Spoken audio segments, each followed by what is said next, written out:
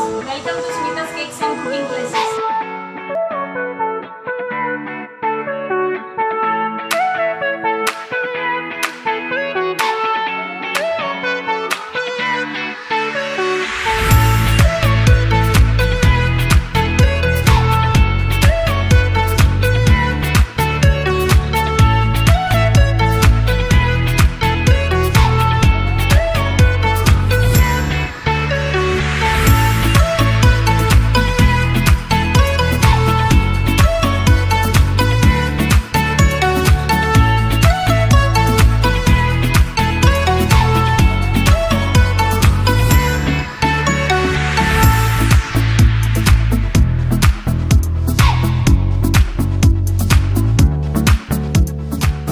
I think uh, today was the very toughest day because it was very hot